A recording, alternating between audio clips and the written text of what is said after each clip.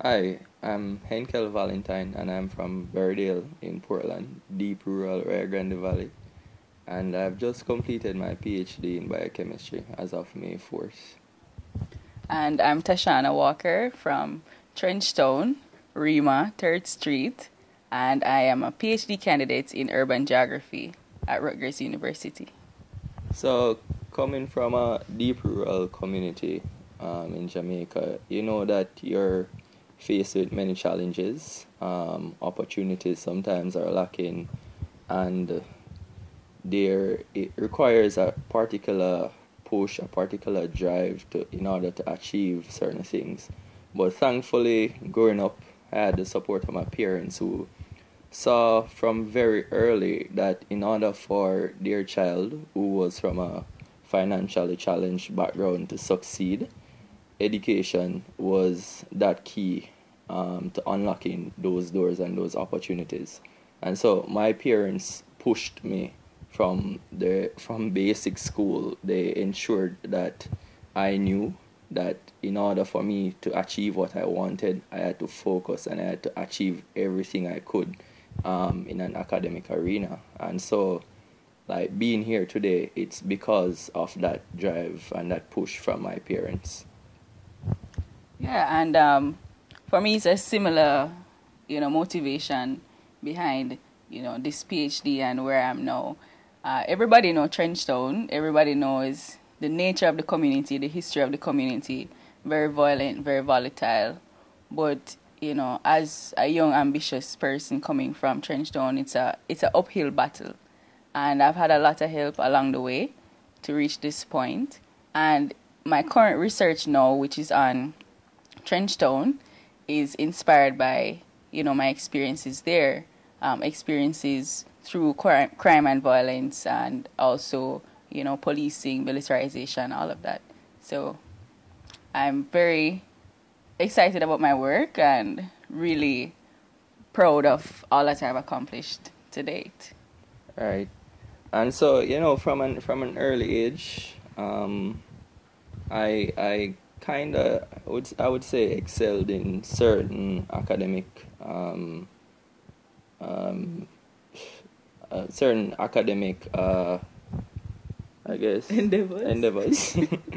And so like I, I was always involved in the, the little competitions the maths competitions um, schools challenge quiz. In fact in, in high school I represented Titchfield in schools challenge quiz. And you know, it, it, it's common in Jamaica where it, the it's the urban schools that do well.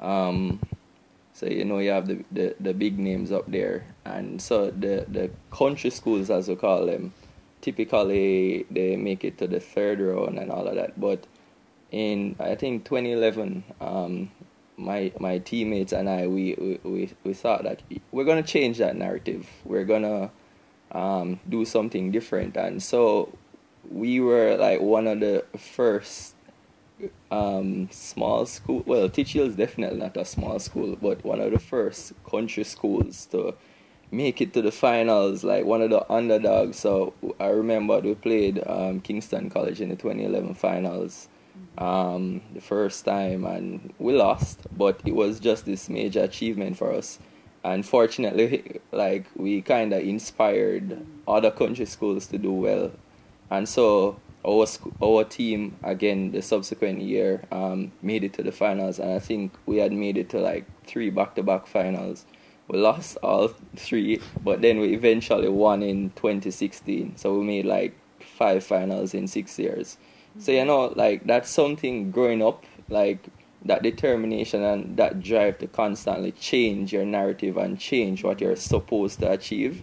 I think coming from my early years, I was able to transition that into my achievements in high school and even going forward. Yeah. And I think for me, it's, um, I've endeavored, I've never limited myself. I mean, that's attributed to my parents that they've never put any restrictions on what I can or cannot achieve. It's more so, you know, anything I want, say yo, go for it. They always, I always have their support, hundred percent.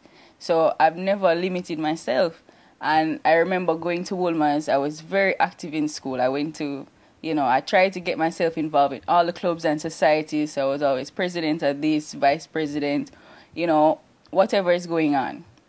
And I used to um you know, participate in these smaller clubs and societies. The less popular ones, you know, like Maths Club, although I'm never really 200 at Maths, but, you know, I did Maths Club, Science Club, and then, you know, I just did my thing.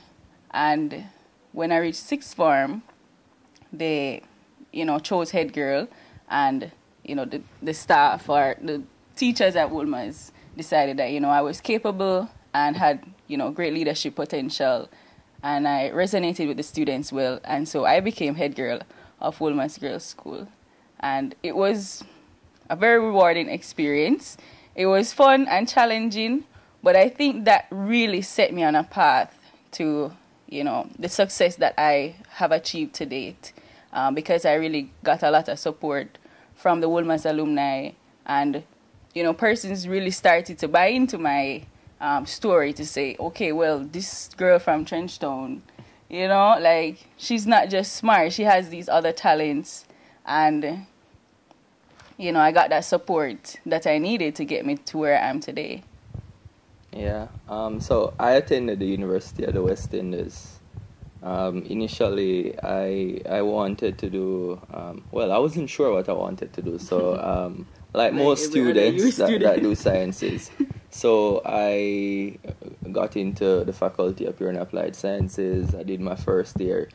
Um, somehow, um, by some chance, I ended up doing a marine biology degree.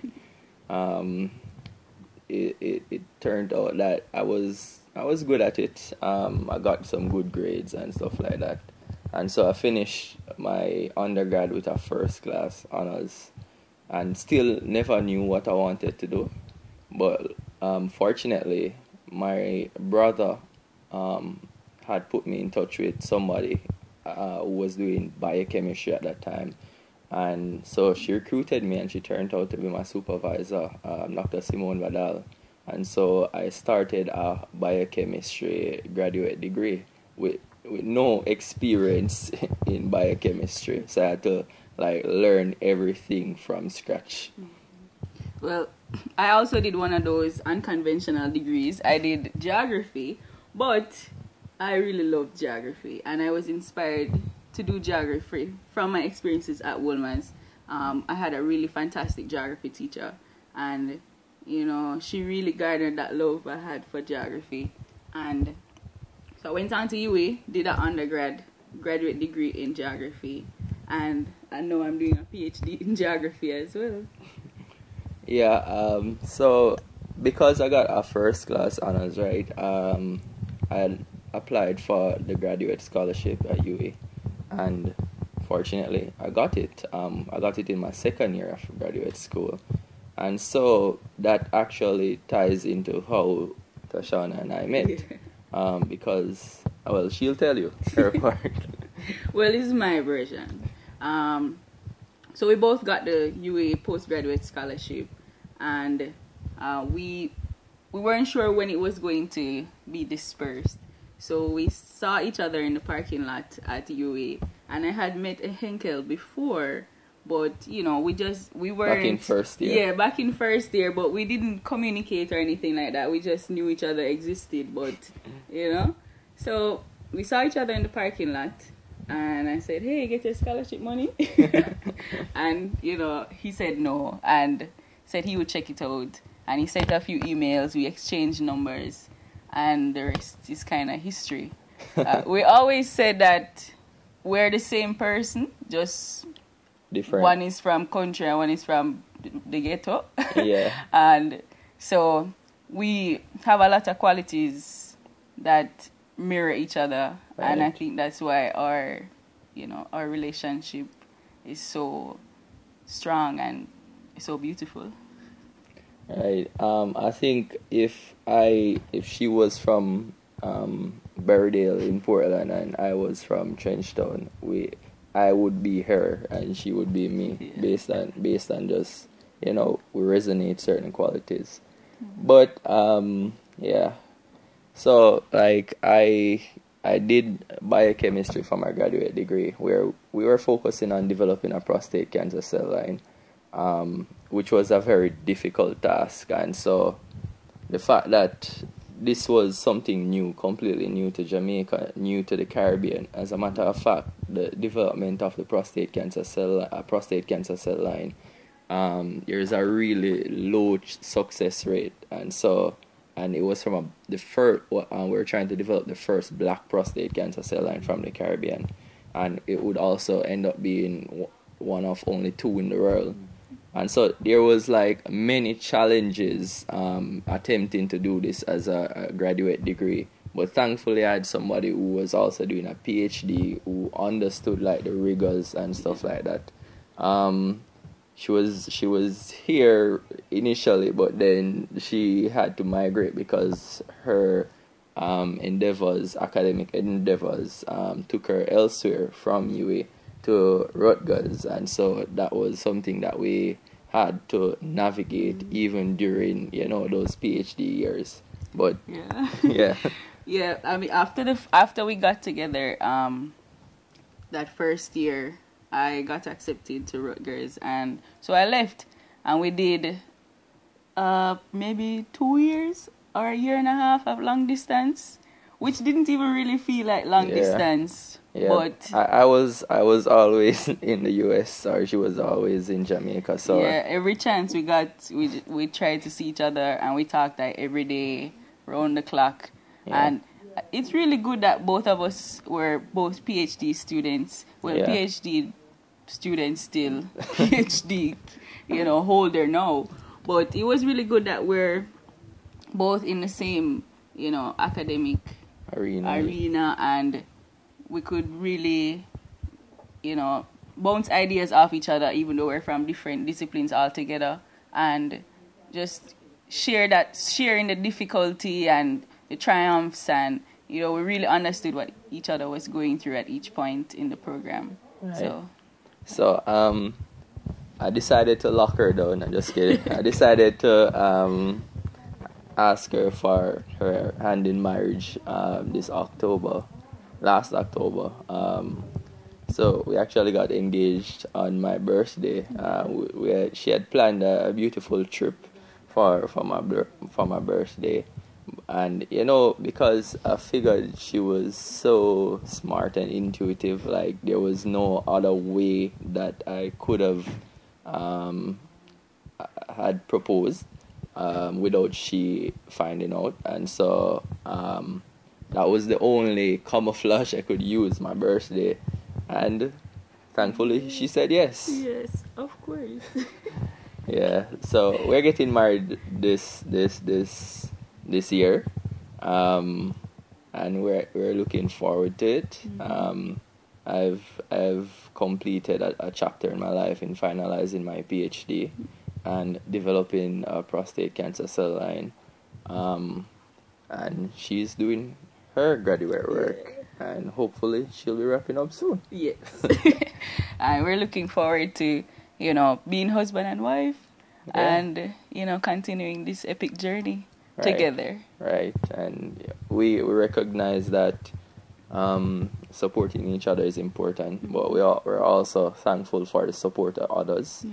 Um, for me personally, I couldn't have been here right now talking to you about my journey without the support of my parents, without the support of persons in my community mm-hmm. from Berrydale, where I'm originally from, but also St. Margaret's Bay, where I grew up. Mm-hmm. Um, persons from high school, university, like godparents, all of these persons, you know, just even the small encouragements that you get on a regular day, I couldn't have been here without it, and I'm extremely thankful.